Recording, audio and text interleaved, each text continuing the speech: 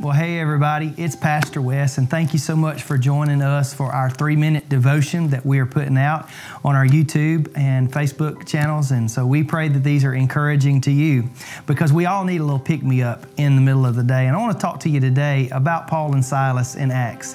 Are you worried about something today? If you got something on your mind that's really causing you to think about some things and go into places maybe you don't need to go, maybe even into a saddened state or depressed state, I want to bring you to Acts chapter 16 where Paul and Silas are imprisoned and they're in a dark place. The Bible says it's about midnight. Isn't it something how our lives and later it gets at night, the darker that seems to get?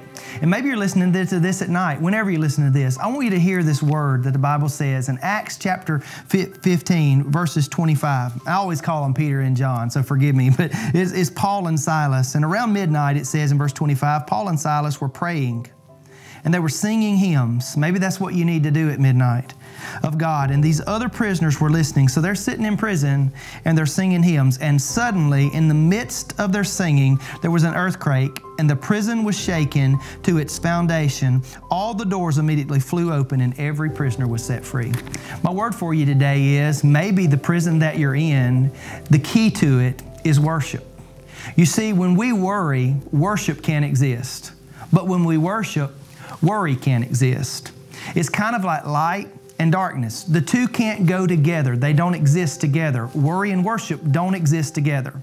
In fact, I would even say that there is no such thing as darkness, there's just absence of light.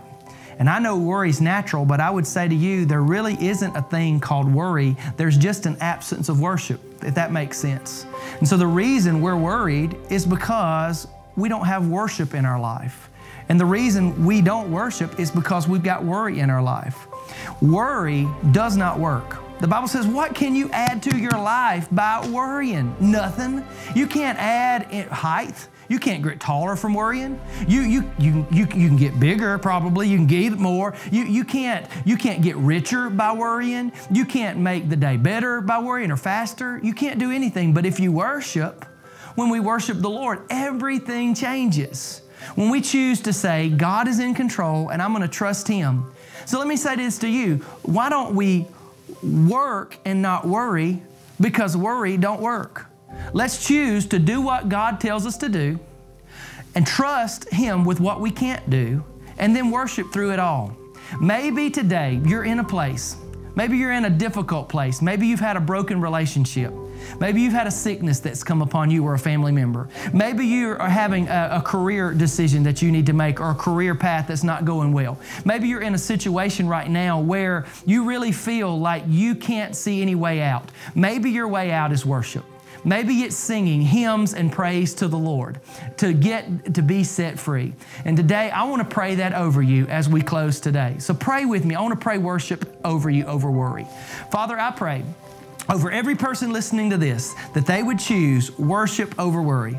That worry would not exist because they choose an attitude of worship. In Jesus' name, amen. Pray you have a blessed day.